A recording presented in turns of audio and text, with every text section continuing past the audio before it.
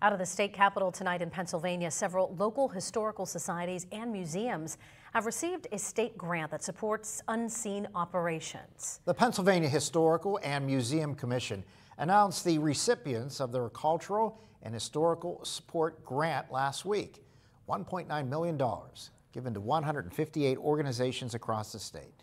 In our area, the Hagen History Center received over $16,000. Experience Children's Museum received roughly $10,000, and the Crawford and Warren County Historical Societies each got $4,000. The Experience Children's Museum shared the grant, helps pay for things like exhibit maintenance, snow removal, and other areas less likely to receive private donation support. In Crawford County, the grant supports several part-time positions that helps the society maintain records.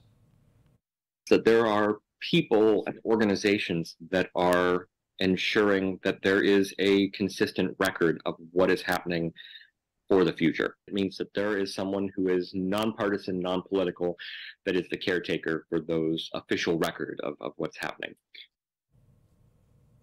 Now, the Crawford County Historical Society also received a different $100,000 grant from the organization Pennsylvania Humanities, and that money will focus on telling stories from the rural areas of that county.